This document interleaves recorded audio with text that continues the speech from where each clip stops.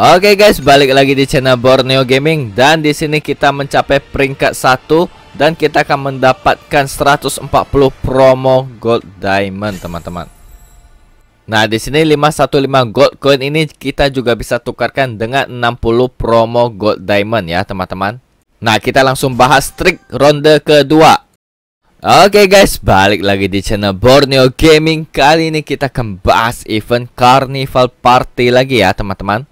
Jadi di sini saya akan memberikan tips kepada kalian biar kalian bisa mencapai peringkat satu lagi di ronde kedua ini teman-teman.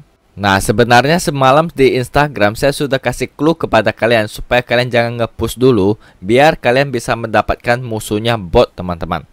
Nah jadi di sini saya memakai VPN biar musuh kita menjadi bot dan kita bisa mencapai peringkat satu dengan mudah teman-teman. Nah pertama-tama kita masuk ke dalam VPN-nya dulu kita aktifkan dulu ya teman-teman.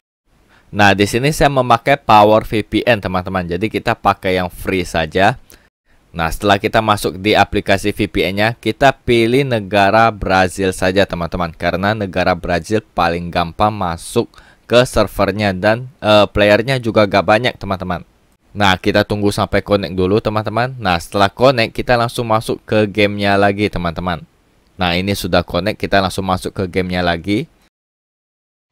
Oke, jadi di sini kita langsung klik mulai di Carnival Party ini lagi di ronde keduanya ya, teman-teman. Di sini saya memilih Selena, teman-teman. Dan semoga saja untuk VPN-nya ini bekerja ya, teman-teman. Nah, di sini kita bisa lihat untuk skornya ini tidak beda jauh, teman-teman. Dan di sini kita bisa cek nama player yang nomor 3 ini ya, GHNB. Nah, kita akan cek apakah dia bot atau bukan, teman-teman. Nah, karena nama yang lain itu sangat susah, yang ini yang gampang. Jadi kita cek yang gampang saja, teman-teman. Jadi GHNB kita akan cek, teman-teman ya, cari nama. Nah, di sini kita bisa lihat cuma level 1, level 7, level 4 dan level 7. Nah, ini ada bendera Brazil nih, teman-teman. Berarti untuk VPN-nya ini work ya, teman-teman. Jadi ini adalah bot, teman-teman. Ini udah gak main selama 7 hari ya. Nah, jadi kita lihat lagi teman-teman. Nah, untuk player nomor 3, 4 dan 5 ini tidak ada pergerakan teman-teman. Tetapi player nomor 2 ada pergerakan tetapi tidak banyak teman-teman.